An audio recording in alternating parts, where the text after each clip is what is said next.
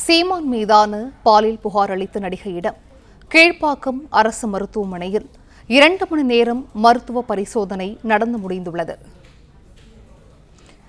இது குறித்த முழு வரங்களையும் நம்ம செய்தியாளர் சரவணன் வழங்க கேட்கலாம். சரவணன் வணக்கம். இது தொடர்பான வரங்கள்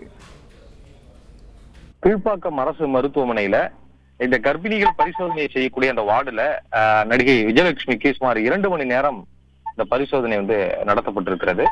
அவர் கொடுத்த ஆஹ், புகாரின் அடிப்படையில் தான் இது நீதிமன்றத்தில் அதாவது நீதிபதி முன்னிலையிலேயே ஆஹ், இதற்கான வாக்குமூலம் பெற்றார்கள். அந்த வாக்குமூலத்துல அவர் ஆஹ், சொன்ன அந்த காலகட்டத்துல இரண்டாயிரத்தி பத்து பதினொன்று அந்த காலகட்டத்துல ஆஹ், நாம் தமிழர் கட்சியினுடைய ஒருங்கிணைப்பாளர் சீமானால் வந்து ஏழு முறை அவர் வந்து கருத்தரித்ததாகவும் அதை வந்து கருக்கலைப்பு செய்ததாகவும் வந்து அவர் குறிப்பிட்டிருந்தார்.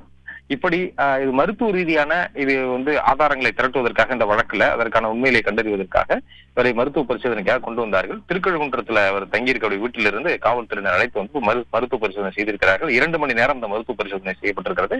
இதற்கு பிறகு மருத்துவர்கள் கொடுக்கக்கூடிய அறிக்கையின் அடிப்படையில அடுத்த கட்ட நடவடிக்கையை வந்து மேற்கொள்வோம் என காவல்துறையினர் தெரிவித்துள்ளனர். தற்பொழுது மருத்துவ பரிசோதனை முடிந்து ஆஹ், நடிகை விஜயலட்சுமி அவர் மீண்டும் வந்து அவருடைய வீட்டிற்கு அழைத்து செல்லப்பட்டிருக்கிறார். விவரங்களுக்கு நன்றி சரவணன்.